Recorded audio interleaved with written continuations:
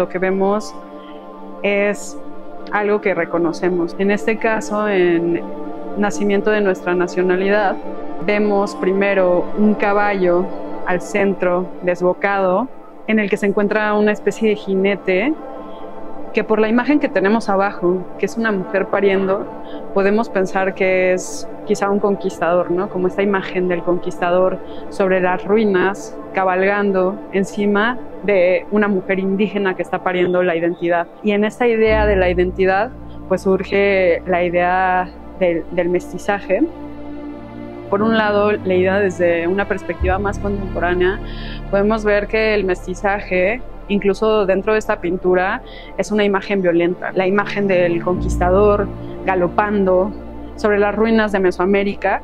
¿Por qué tomamos estas imágenes para hablar de nuestra identidad nacional como una unidad cuando son imágenes que también están cargadas de colonialismo, están cargadas de imposiciones patriarcales, de violencia sobre los cuerpos de las mujeres, sobre todo mujeres racializadas. Ya no es hablar de este México moderno en el que buscamos una identidad unificada a partir de justo esta idea del mestizaje, sino cómo la problematizamos en la actualidad. Quizá si hablamos de, del México moderno podemos pensar cuáles son sus ruinas. ¿Fue un triunfo?